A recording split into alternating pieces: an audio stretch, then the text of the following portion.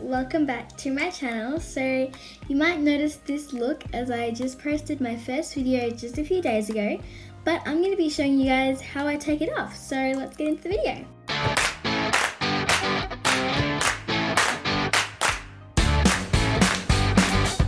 So obviously I would start by taking my eyelashes off. So I will just take them off and also peeling off the lash glue to have good aftercare to use them many times.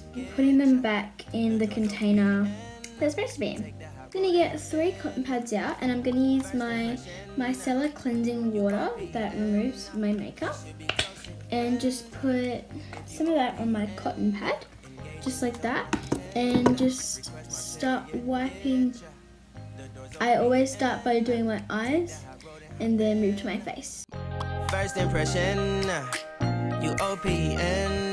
We should be closer than friends. Uh, if you OPN, uh, engaging you's on my agenda. Request my chariot, get ya. The door's OPN. Uh, take that hot road and hop in. First impression, you OPN. We should be closer than friends. If you OPN, engaging you's on my agenda. Request my chariot, get ya. The door's OPN. Take that hot road and hop in.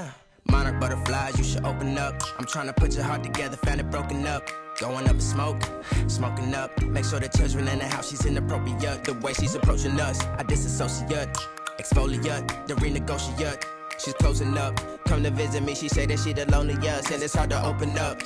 Open you up like a Pokeball. Open up. Tear you out for a. Let your emotions on me. Now that I've gotten most of it off, I'm going to do my gentle cleansing milk and put some of that in my fingertips and just start applying that. Open up. Open up.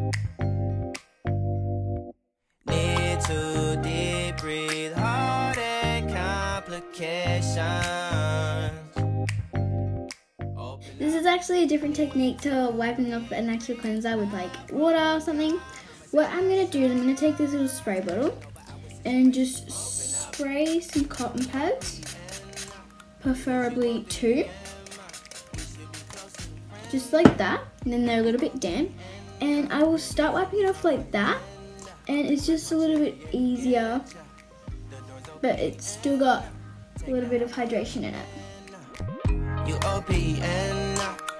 You OPN, bitch, you won't We should be closer than friends. Okay, so now I'm going to take some moisturizer. And for the moisturizer, I'm going to be taking the QV Intensive um, Moisturizer for Extremely Dry Skin.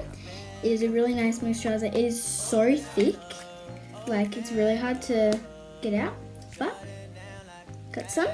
As you can tell, it's very thick, but I'm just going to mush that into my fingertips and rub it in.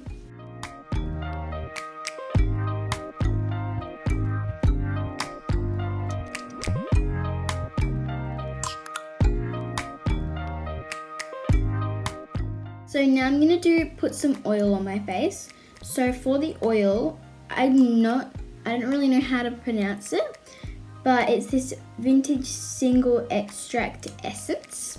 It's the mini version, so it doesn't have a squeezer. So I just put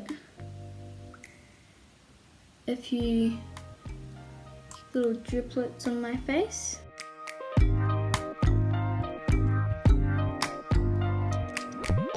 First impression, you OPN. Because I'm just going to take my spoolie and brush my eyebrows because, you know, I love brushing my eyebrows. Now I'm going to take this Dermal Lip Balm.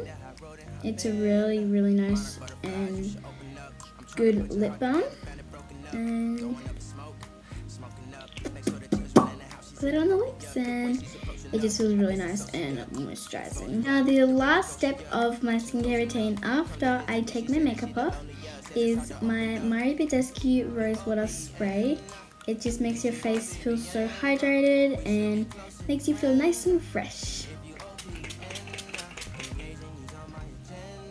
Just like that. the doors O-P-E-N Take the high road and hop in Open up, open up This is the end of the video. I really hope you guys liked it. I love doing my skincare after my makeup because I love to take care of my skin. Especially because I do a lot of makeup, but it's just for fun. So I hope you guys like this video and I'll see you guys in the next one. Bye!